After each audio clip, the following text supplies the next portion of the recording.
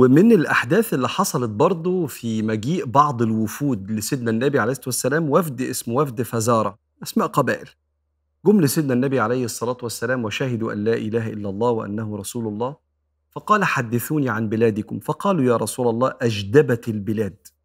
البلاد ما بقاش فيها مطر. أجدبت البلاد وهلك الزرع وماتت الماشية. فادعوا الله أن يغيثنا. فقال صلى الله عليه وسلم إن ربكم ليضحك.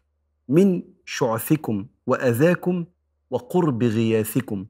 فقال أحدهم إن ربنا يضحك؟ قال نعم. قال لا عدمنا الخير من رب يضحك. بيقولوا له يا سيدنا النبي ادعي لنا لحسن إحنا الدنيا عندنا فيها أزمة جامدة جدا ومفيش مطرة والمواشي ماتت والزرع مات. فربنا قال لهم أبشروا. الموضوع قرب جدا. ده ربكم بيضحك من قرب الغيث اللي هينزل عليكم. وأنتوا قلقانين وخايفين وخلاص ده قرب قوي. فقال له إيه ده هو ربنا بيضحك؟ قال نعم. قال لا عدمنا الخير من رب يضحك. إذا كان من صفات ربنا اللي حضرتك بتكلمنا عنه إنه بيضحك ده أكيد الرب اللي بيضحك ده عنده خير كتير قوي. فرفع النبي صلى الله عليه وسلم وعايز أقرأ لكم دعوة النبي جميلة قوي. فرفع النبي صلى الله عليه وسلم يده وقال واحفظ كده الدعاء ده. اللهم اسق بلدك وبهيمتك وانشر رحمتك وأحيي بلدك الميت. اللهم اسقنا غيثا مغيثا مريئا مريعا طبقا واسعا عاجلا غير آجل نافعا غير ضار. اللهم سقيا رحمة لا سقيا عذاب ولا هدم ولا غرق ولا محق. اللهم اسقنا الغيث وانصرنا على الأعداء. يبقى راجع الحلقة دي تاني وافتكر الدعاء ده فسقاهم رب العالمين ففرح النبي صلى الله عليه وسلم. وبعدين وصلت لسيدنا النبي عليه الصلاة والسلام. يعني بص هو سطر في السيرة بس مهم يعني. هدية من ملك اسمه ذي يزن. بعت لسيدنا النبي عباية ب 33 بعير 33 جمل. يعني سعر ثمن العباية دي كده 33 جمل كما في 33 بعير. فلبسها النبي وقبلها. بقول لك الكلام ده ليه؟ لأنه بعض الناس ربنا موسع عليهم. طلع زكاة ماله وفاتح شركته وبيفتح بيوت ناس بالمئات والآلاف. هو بيحب اللبس. وبعد ما يطلع الصدقة والزكاة وفتح البيوت يشتري لبس غالي. ما تنكرش عليه. ما تنكرش عليه. حتى ده كان ليه نصيب من نور النبي إن النبي عليه الصلاة والسلام جات له الهدية الغالية قوي دي فقبلها صلى الله عليه وسلم وهو من هو في الزهد والتقلل من الدنيا. وبالمناسبة شوية واحد من الصحابة هيقول له الله دي حلوة. يقول له أتعجبك؟ يقول له آه. يقول له هي لك. وعلى طول تطلع الدنيا صلى الله عليه وسلم للناس. وبعدين موقف جميل جدا. سيدنا أبو موسى الأشعري وسيدنا معاذ بن جبل النبي بعتهم لدعوة أهل اليمن. فقالوا أوصنا يا رسول الله. شوف ناس جاية طالعة من عند النبي هو حضرتك تحب الناس تعرف عنك إيه؟ نظهر بأنهي مظهر؟ فقال صلى الله عليه وسلم يسر ولا تعسر بشر ولا تنفر. عايزين الناس تحب ربنا وتحب سيدنا النبي عليه الصلاة والسلام وتحب الدين بالهداوة كده. الناس أصلا في معركة الحياة فيها اللي مكفيها. خلوا الدين يساعد الناس تقرب لربنا. مش يبقى ثقل على الناس. يسر ولا تعسر وبشر ولا تنفر. فسيدنا معاذ بيقول له يا رسول الله بيشربوا هناك شراب اسمه البتع. فقال مسكر قال نعم يا رسول الله. قال كل مسكر حرام. مش لازم يبقى اسمها خمر أو اسمها هو الشراب ده مكوناته بتذهب العقل؟ قال نعم. قال كل مسكر حرام. حتى لو اسمه جديد علينا كان اسمه البتع وقتها. وقال إنكم تقدمون على قوم أهل كتاب فأول ما تدعوهم إليه أن يعرفوا الله. بص ترتيب الأولويات.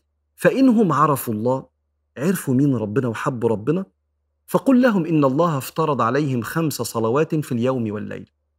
فإنهم أطاعوك لذلك واحدة واحدة مش كل حاجة مرة واحدة. فإنهم أطاعوك لذلك فأخبرهم أن الله افترض عليهم صدقة يعني زكاة تؤخذ من أغنيائهم فترد إلى فقرائهم وإياك وكرائم أموالهم.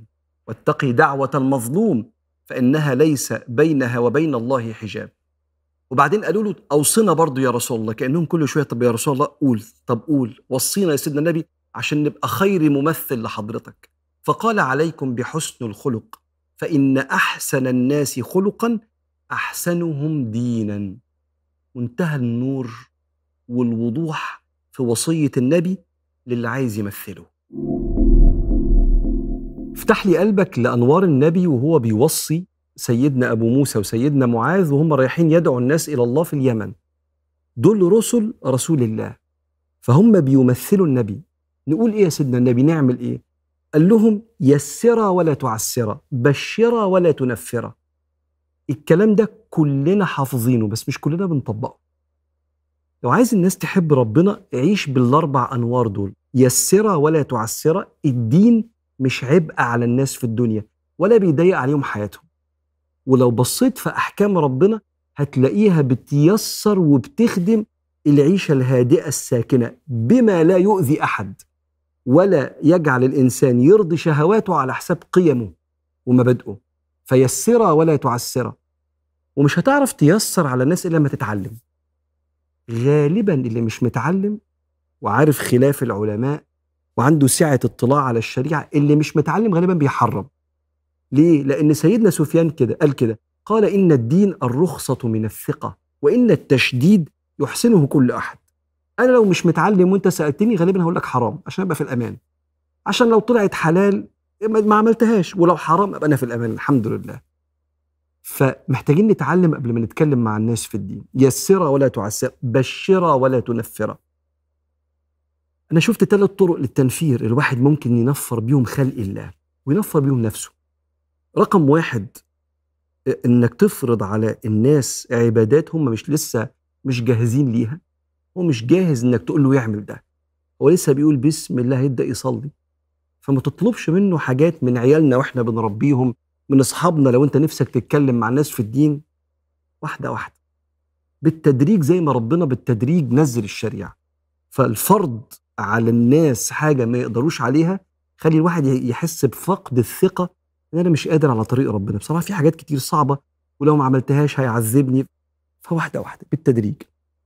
اتنين من ضمن وسائل التنفير تضييق رحمة ربنا في عيون الناس وإن ربنا مش هيغفر لفلان ده والذنب ده, ده أنت ربنا ينتقم منك. ده أنت ربنا ابتلاك عشان الذنب ده. فنحكم على الله سبحانه وتعالى إنه بيعمل حاجات كأن ربنا قايل لي. أنا ابتليت ده عشان غضبان عليه وأمرضت ده عشان مش عارف زعلان منه وده أخرت بس هو ربنا ما قاليش الكلام ده. لأن ربنا عمل حاجات فيها ابتلاءات لأنبياء هم معصومين أصلا.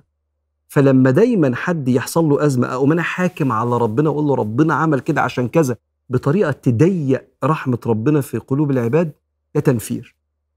التالتة إن أنا نفسي لما يتعامل معايا يحس إن الدين ما صنعش مني شخصية رحيمة ولا خدومة ولا نافعة. فيحس كده إيه ده؟ إيه النموذج اللي أنا بتعامل معاه ده؟ أنا مش راضي أصلا على المنتج ده اللي الدين عمله.